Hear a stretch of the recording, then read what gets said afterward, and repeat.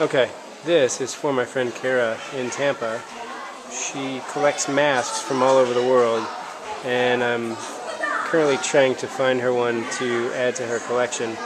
But I think, if I remember correctly, these were um, masks used in uh, plays to kind of vent the frustrations of the Buddhist corruption as well as the upper class corruption and the poor living conditions of um, the lower class. And I'm not sure exactly how each mask re represents or what it represents, but um, they all have some specific meaning for them. Um, like servant's mask, a peasant's mask, a monk's mask, things like that.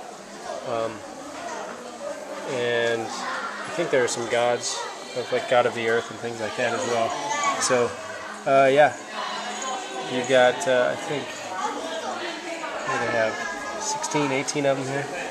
Pretty cool stuff, though. Very interesting. Lots of history. Lots of good history. And I think that's the uh, kind of the costume that they wore during these little performances. So, yeah, that's it. And here's actually um, a bit of the performance. I think he's got a little doll with him. But, yeah, that's it.